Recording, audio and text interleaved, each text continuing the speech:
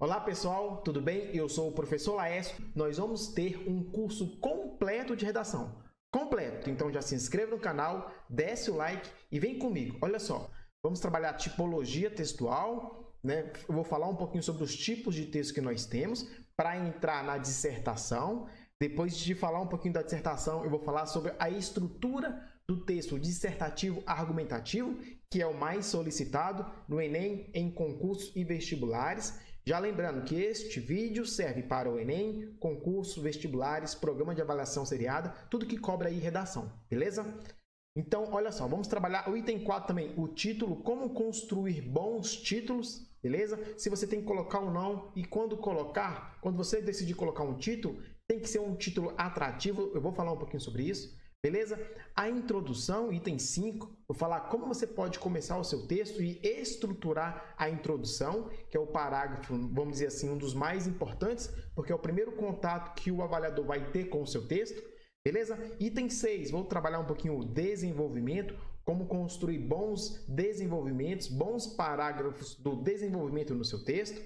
Olha só, item 7, a conclusão, como né, fechar o seu texto, aí se for de concurso, se for de Enem, por exemplo, se for de Enem, tem a proposta interventiva. Se for de concurso, por exemplo, a banca IADES, tem ali uma proposta, é, uma elaboração crítica. Então, nós vamos trabalhar em relação à conclusão, este último parágrafo, beleza?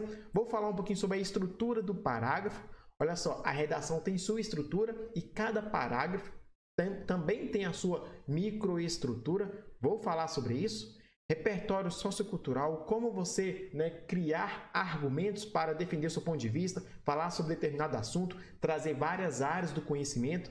Vou falar sobre isso, item 9. Item 10, olha só, tipos de argumentação. Nós vamos ver quais são os tipos de argumentação que você pode utilizar no seu texto, tá? Citação, exemplificação, alusão histórica, causa e efeito. Vou falar sobre isso. Olha só, 11 tipos de coesão textual, né? os elementos coesivos que você pode utilizar no seu texto. Quais são os tipos de coesão? Referencial, coesão lexical, coesão por substituição. Tudo isso você tem, você tem que saber para construir um bom texto, beleza? Item 12, olha só, principais erros gramaticais.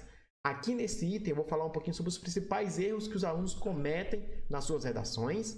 Item 13, olha só, a importância da revisão textual. Vou falar um pouquinho sobre isso, porque muitas pessoas acabam errando e perdendo pontinhos na sua redação por conta da falta de revisão do texto antes de passar a limpo. Vou falar sobre isso. Né? Eu já tenho uma grande experiência de correção de texto dos meus alunos e eu percebo muito isso. Eles sabem grafar uma palavra, mas têm dificuldade porque não faz essa revisão e acaba errando a palavra quando vai passar a limpo. Vou falar sobre isso.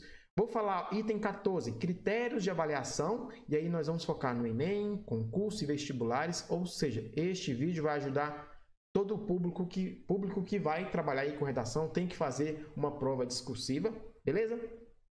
Vou analisar um texto modelo também para vocês perceberem como construir um bom texto. Aqui eu peguei um texto nota 1000 do Enem, tá? Para vocês analisarem, serve aí para concurso, vestibulares, como eu falei. E eu vou no item 16, eu vou apresentar 10 temas, 10 temas para vocês praticarem. Beleza? Vem comigo então, vamos começar aí com tipologia textual, ok?